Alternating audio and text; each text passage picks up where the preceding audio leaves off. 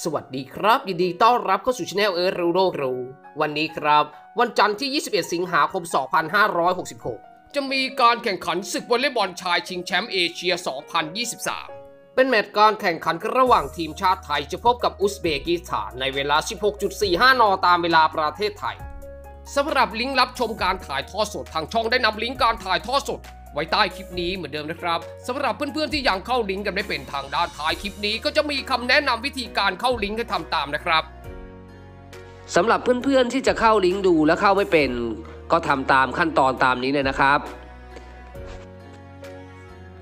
จากหน้าจอมือถือของคุณคุณจะเห็นเลยครับหน้าใต้คลิป มันจะมีชื่อคลิปอยู่นะครับ ให้คุณมองทางด้านขวามือของชื่อคลิป มันจะมีเครื่องหมายชี้ลงนะครับ เป็นลูกศรสามเหลี่ยม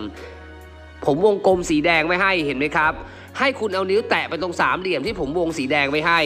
มันจะมีส่วนขยายออกมา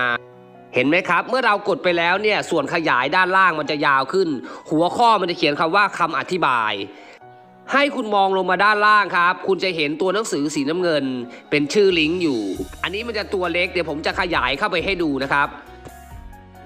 เห็นไหมครับ เมื่อผมขยายหน้าจอขึ้นมาให้ดูแล้ว คุณจะเห็นครับด้านล่าง ตัวหนังสือสีน้ำเงินนั่นคือลิงก์การถ่ายทอดสด ผมจะเอาวงสีแดงวงไว้ให้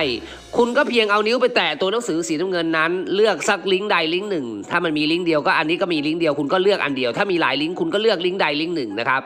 เสร็จเรียบร้อยแล้วมันจะพาคุณเข้าไปสู่การถ่ายทอดสดนะครับ